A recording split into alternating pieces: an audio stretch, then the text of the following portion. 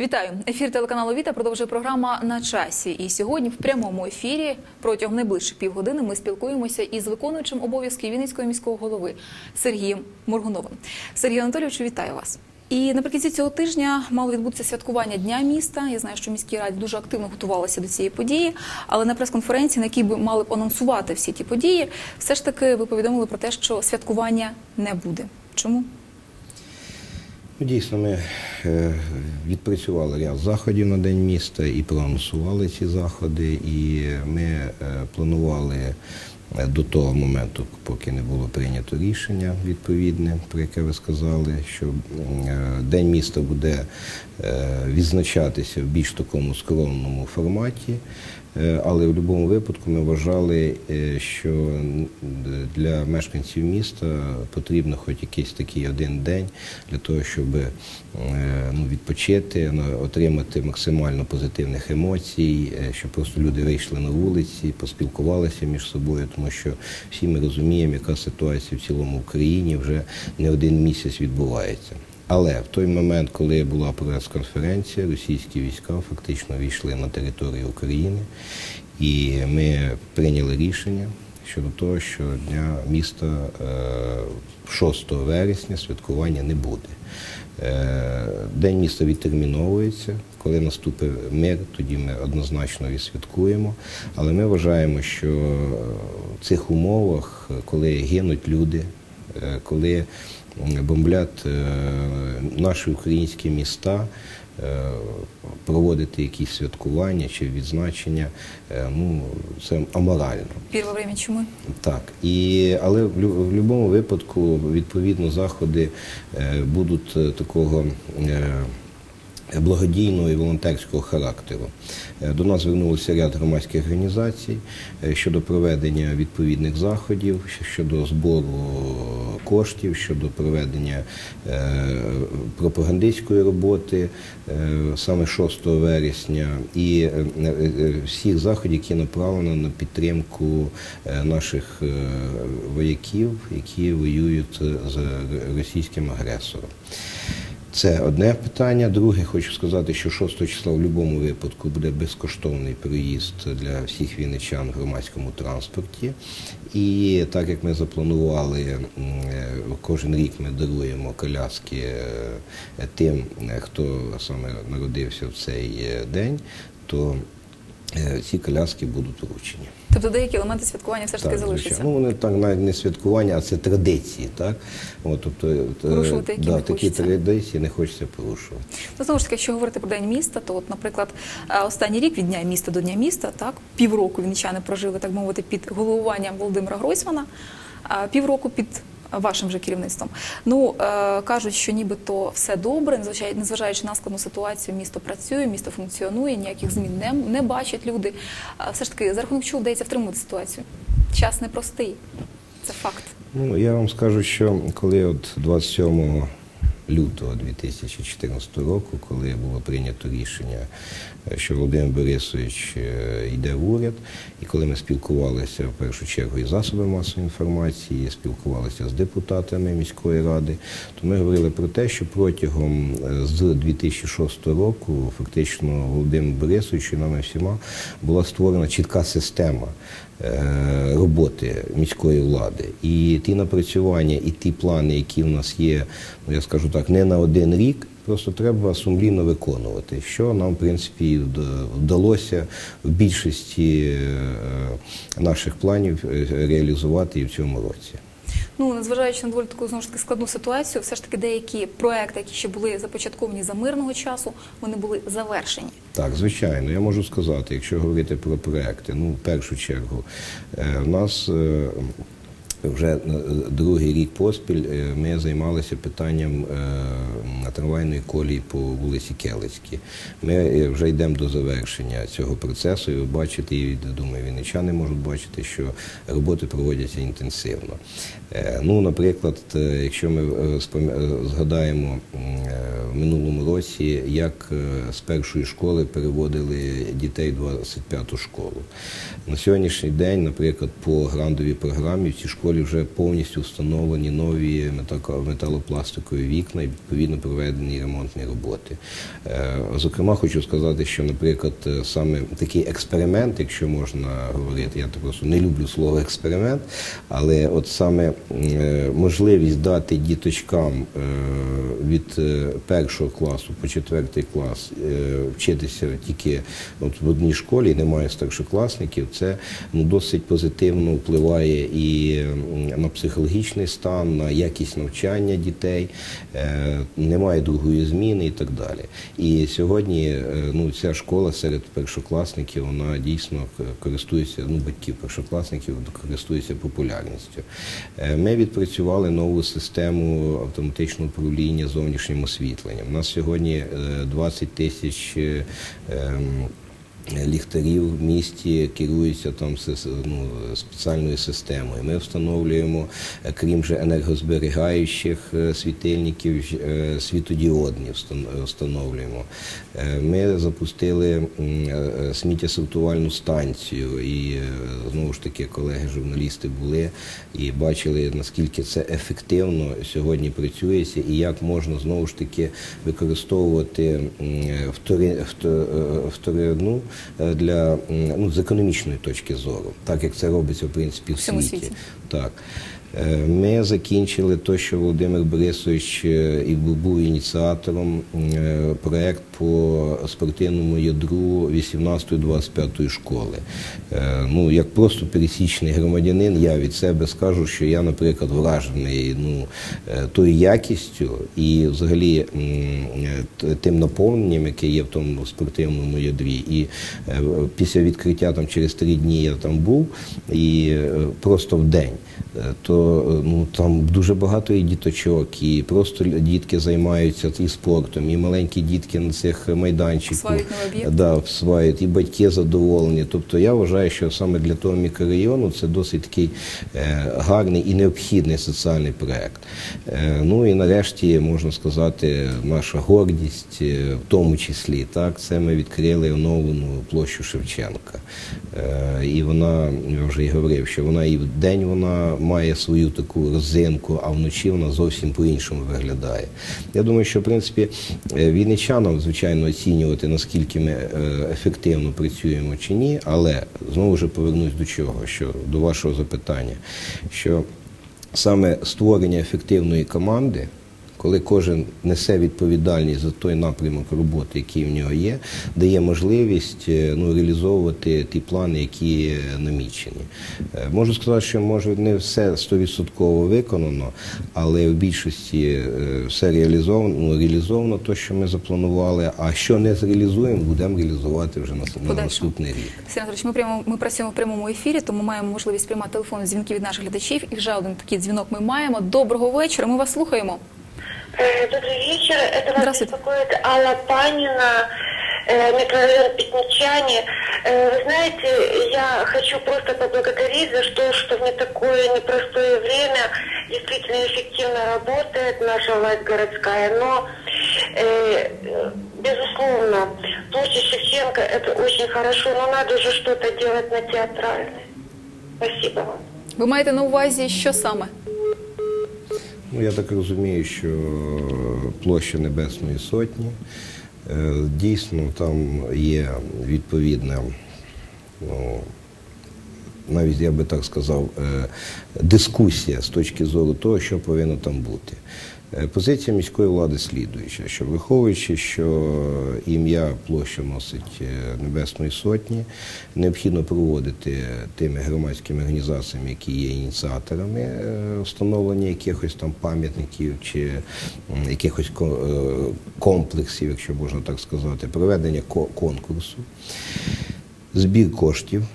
Так як це було по пам'ятнику Шевченка? Та, да, тому що сам да, сам пам'ятник, да, сам на сам пам'ятник збирала фактично вінничани. Громада. Да, вся громада. Е, Це, а це немало не багато, це 650 тисяч гривень. Е, І міська влада на себе бере відповідальність, що після встановлення визначення, що там повинно бути, е, збіру коштів і встановлення, провести відповідну там реконструкцію чи модернізацію тої площі вже під той концепт, який буде визначений. Ну, а все ж таки я пропоную е, згадати, яким чином ми відкривали 23 серпня, День прапора, нашу площу Шевченка. Давайте згадаємо.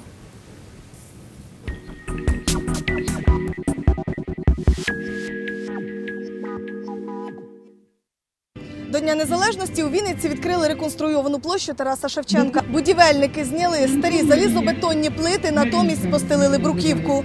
Провели освітлення, встановили лавочки та урни. Попрацювали і над ландшафтним дизайном. Діє тут також зона Wi-Fi. Я згадую, наскільки нам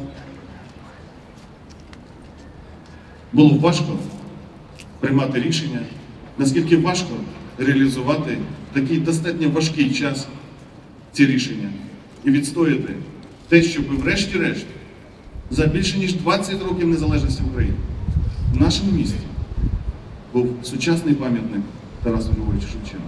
Сам пам'ятник Тарасу Шевченку відкрили ще 9 березня. Його проект подарований Вінниці фондом Велика родина. Активну участь у зборі коштів приймали самі вінничани. Загальна вартість пам'ятника понад 700 тисяч гривень. Е, Значну частину з них було перераховано саме завдяки меценатам і спонсорам вінничанам. Е, Це через фонд. Решта було доплачено іншими меценатами саме напряму виконавцю, нашому автору Цесарику Володимиру. Колишня музейна, а нині площа Шевченка зроблена в сучасному стилі. Вздовж площі з лівого боку влаштували мистецьку галерею, де можуть робити виставки вінницькі митці. Початково планувалося е, витрати 4, трошки більше 4 мільйонів, але ми в процесі проєктування поміняли бруківку і ще точно не знаємо, але я думаю, що десь е, мінімум півмільйона буде зекономлено. В мерії вірять, площа стане одним з найпривабливіших для вінничан і туристів місцем. це в життя втіляється наша дума, наша справа України бути європейською, бути незалежною, бути мужньою, доброю, щоб наші діти, внуки, правнуки жили краще нас. Слава Україні!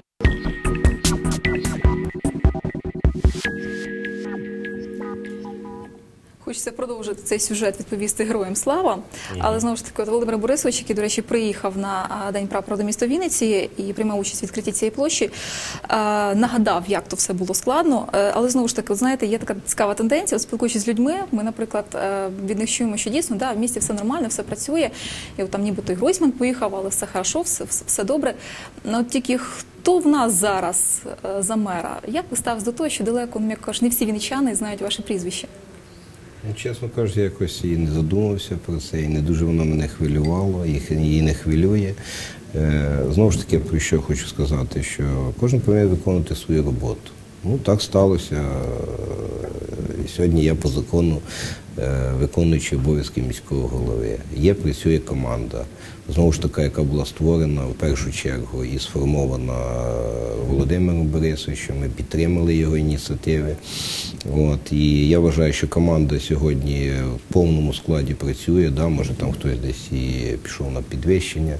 Але е, саме головне, що ми знаємо, що робити. І ми впевнені в тому, що при е, наявності відповідно бажання, е, відповідних можливостей фінансових, і саме головне при підтримці вінничан, ми е, зробимо нашу Вінницю з кожним роком все краще, все краще.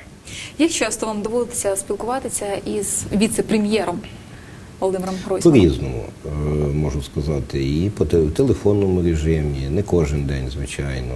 Е, Буває таке, що там ну, сьогодні, завтра там поспілкуюся.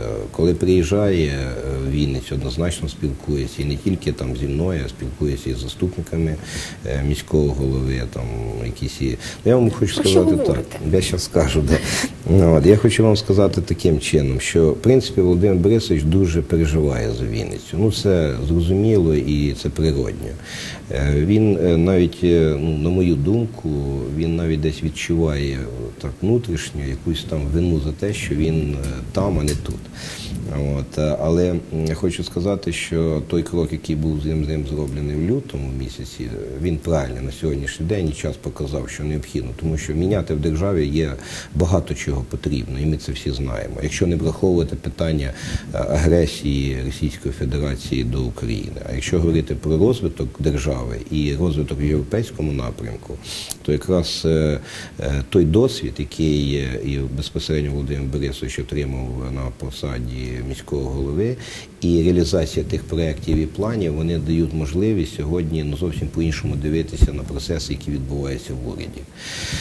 Розмовляємо і те, що стосується міста, те, що стосується регіону, і звичайно те, що стосується держави, тому що ну е, наші експерти, знову ж таки, маючи практичне напрацювання, е, сьогодні працюють в відповідних експертних групах там е, в кабінеті міністрів щодо впровадження там реформи місцевого самоврядування. Наприклад, ми вносимо свої пропозиції щодо реформи охорони здоров'я, щодо питань, які стосуються соціального захисту. Ну, в принципі, багатьох тих питань адміністративне надання адміністративних Послуг. послуг. Да. Тобто те, що ми на практиці вже, я кажу, вже для себе відчули і знаємо, які є плюси, мінуси, що треба допрацювати. І, звичайно, е, для себе ми бачимо, що багато речей можна застосувати по всій Україні для того, знову ж таки, щоб е, працювала ефективна система в рамках не тільки одного міста, а всієї, всієї держави. Але я так розумію, що все ж таки, е, коли ми говоримо про е, розвиток взагалі держави, нашого міста, зокрема, коли ми говоримо про це в мирний час. Маємо одні пріоритети. Yeah. Коли говоримо про сьогоднішнє сьогодення, інші пріоритет. Я так розумію, що все ж таки на сьогоднішній день і плани команди, пріоритети змінилися. Що на сьогодні першочергове? Ну, звичайно, змінилися. Якщо говорити, ну дивіться, ми, е, ми сьогодні маємо реальну загрозу від великої країни, яку ми завжди вважали своїм там братом, там старшим, хтось так завжди ну, хотіли так представити. А по великому рахунку тої країни, з якої, е, як кажуть, того сусіда, якого не обираєш, і від нього переїхати нема куди. На жаль. На жаль. Е, З другого боку, ми вимагаємо нормальних сусідів, так? Я маю на увазі там Європейський Союз. От. І е, сьогодні ну, реалії часу такі, що нам необхідно в цих нових умовах і європейської інтеграції, і тої агресії, яка є з Сходу, е, зовсім по-іншому будувати економіку.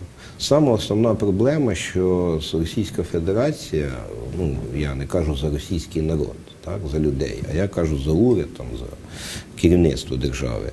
Вони всіми е, можливими засобами і методами хочуть нас шантажувати і принизити.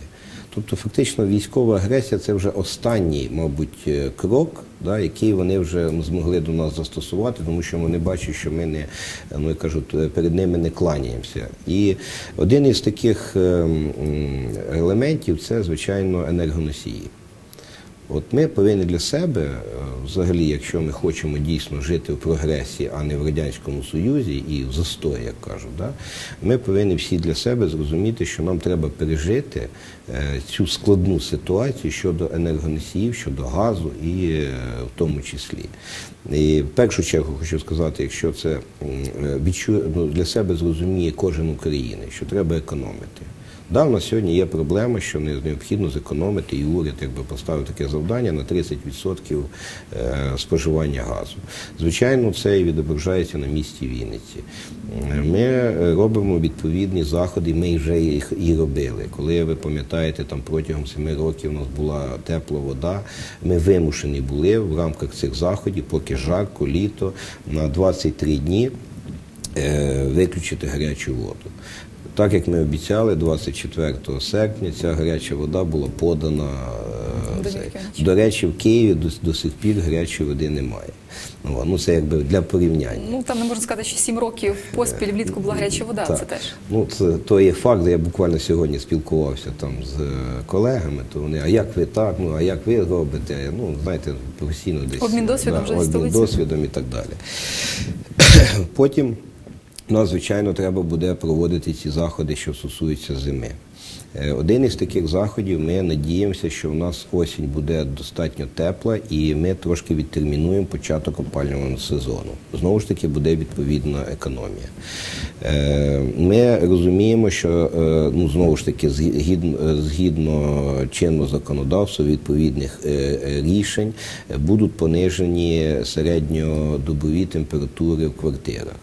От. Ну, це ми будемо бачити, тобто це теж буде економія якась. Але разом із тим ми повинні розуміти, що кожній людині та, треба економити також. Да? Десь заклеїти вікна, там, двері, щоб не дуло і так далі. Десь менше цього газу, якщо це не приватний сектор, десь менше цього газу в своїх котлах поставити, десь переходити на альтернативні види палива, там, на котли твердого палива, там, на електрокотли і так далі. Анатолійович, але все ж таки економія, якби там не було, це вимушений захід, і він е, може бути лише тимчасовим. Що місто Вінниця робить для того, аби дійсно стати більш енергонезалежними? Тобто впровадження альтернативних е, джерел енергії, пошук їх. Взагалі, за рахунок чого Вінниця може стати більш так енергонезалежною?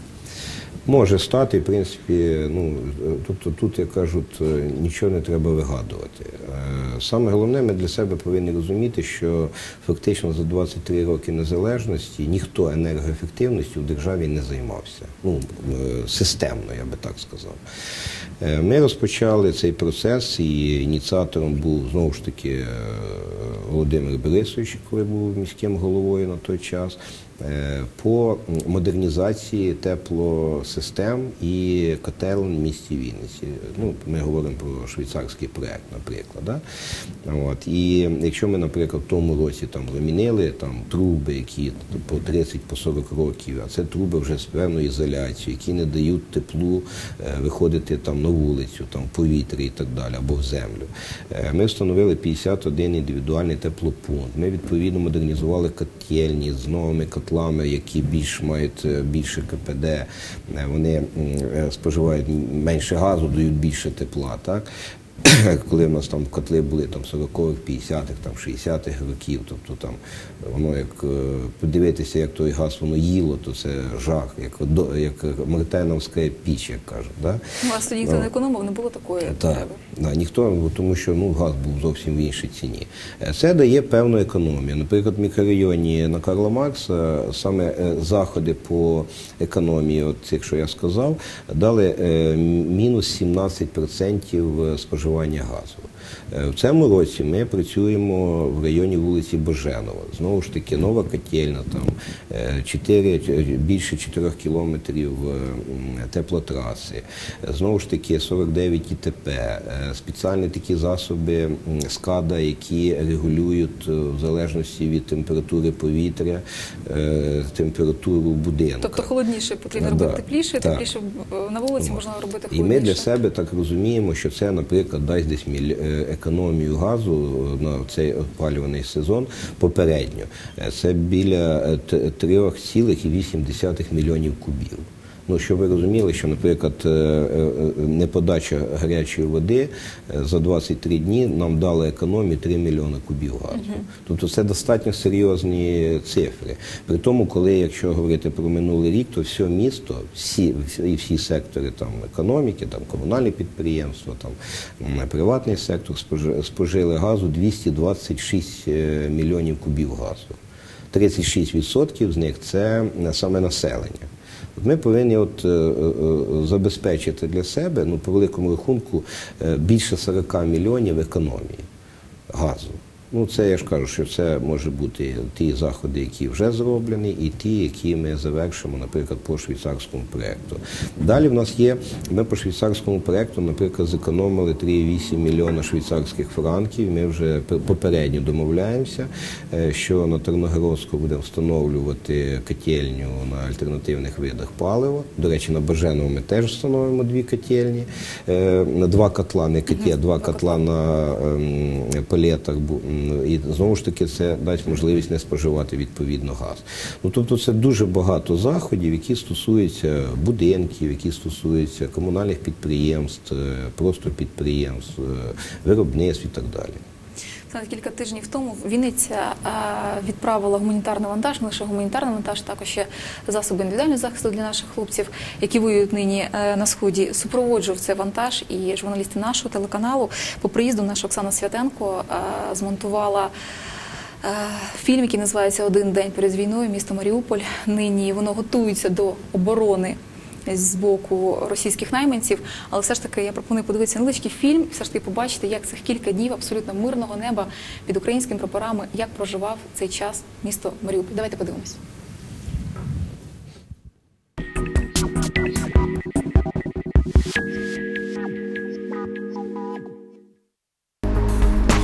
Місті тихо і спокійно. Воно живе звичним життям. Працює громадський транспорт, по вулицях ходять люди. У скверах мами з дітлахами годують голубів, а на лавочках воркують закохані. Важко повірити, що ще два місяці тому тут стріляли. Йдемо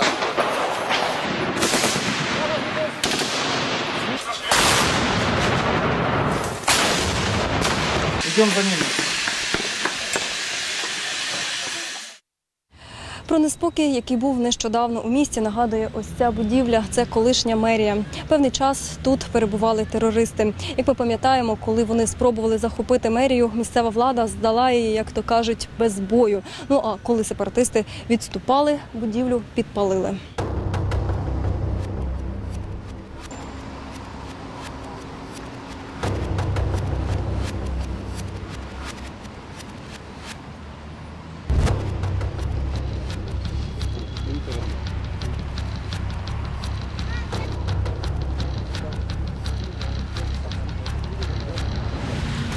Я считаю, что это преступление. Просто преступление. То, то, что делают, то, что уничтожают всю инфраструктуру. Мы немного хотели. Люди вышли на площадь, просили язык и какую-то свободу территории. Потому что хотя бы что-то оставалось на данной территории, и мы могли сами как бы распоряжаться этими средствами. А оказалось вот, никто не услышал, никто не отозвался. Мы совершенно не хотим войны, мы уже... Вы знаете, моя тетя э, узник концлагеря немецкого в свое время. И когда я ее с 9 мая поздравляла, она говорит, я даже обиделась на нее, она говорит, я же ничего не хочу, я хочу только мира. И вот теперь я понимаю, что я бы повторила ее слова. Я же ничего не хочу. Загальне враження Маріуполь це українське місто. А це сумнозвісний Маріупольський постміст. Саме тут, на другий день після визволення міста, розстріляли п'ятьох прикордонників із гранатометів, терористи, які знаходились у тому приватному секторі. На знак пам'яті за загиблими місцеві жителі розфарбували майже кілометровий міст у жовто-сині кольори. Тепер це свого роду така патріотична дорога, яка веде від центру міста до металургійного комбінату Азов-Сталь.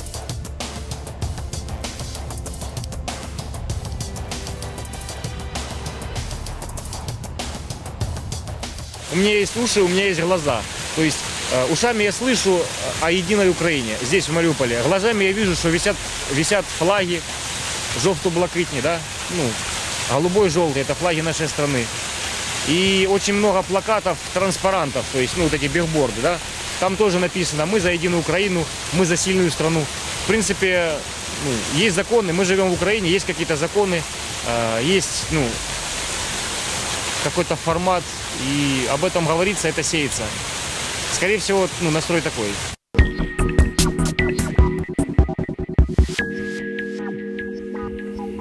Прикро. Прикро, знаєте, що, що в нашій державі ми дожилися до того, що в нас бомблять міста.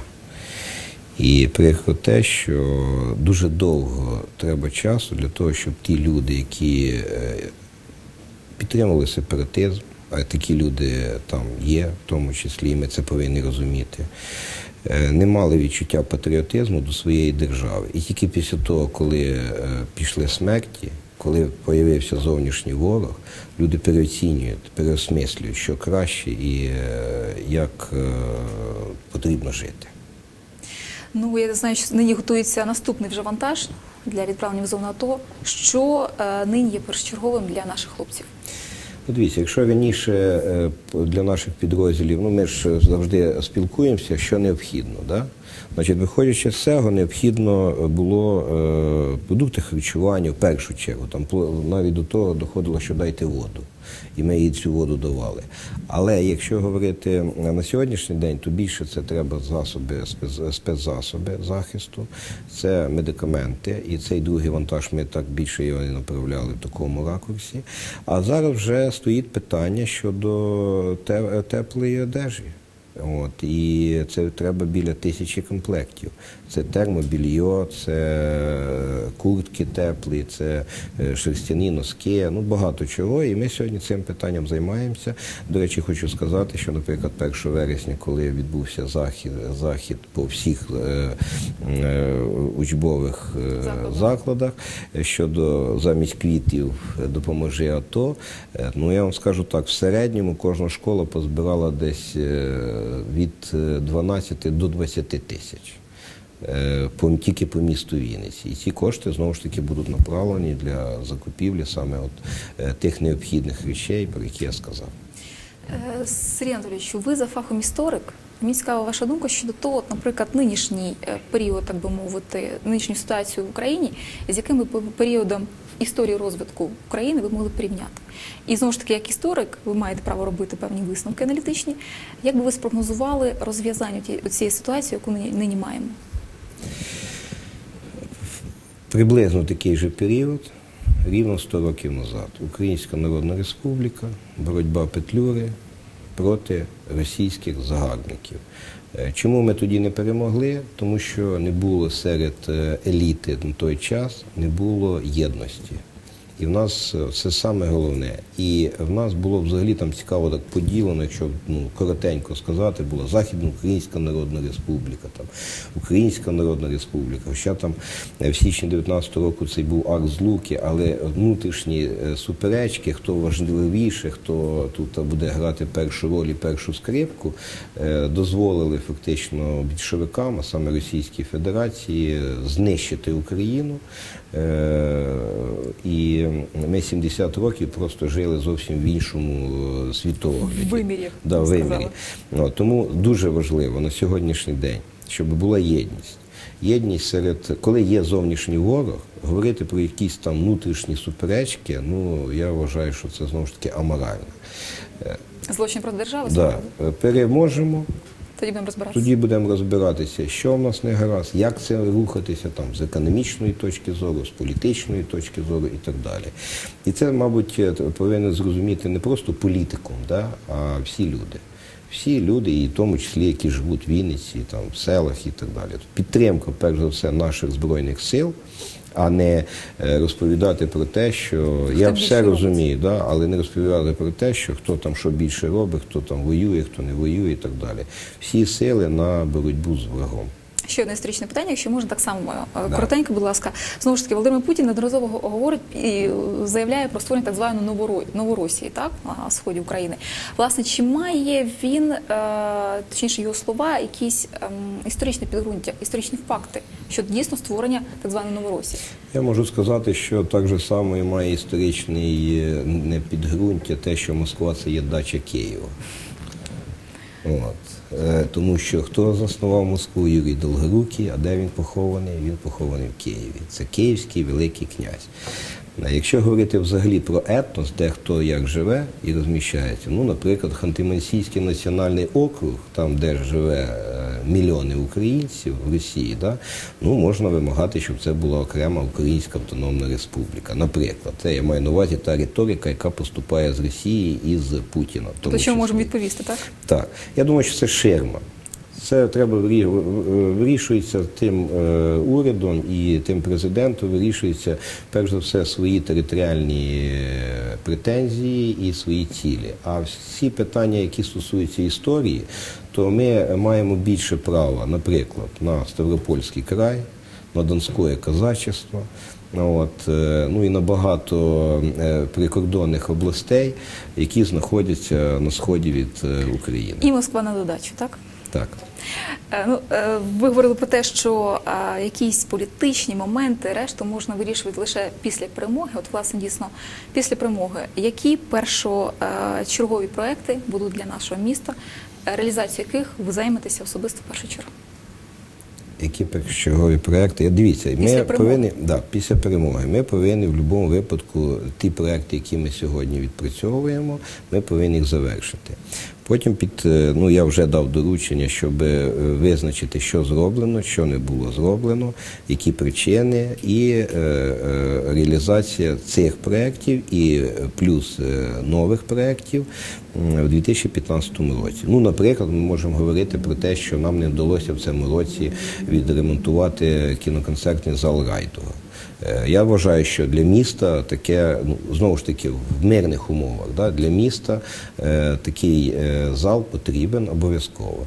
Е, Ми достатньо е, ну, не змогли знову ж таки з врахуванням фінансових можливостей і в державі, в тому числі, приступити в цьому році до реконструкції проспекту космонавтів.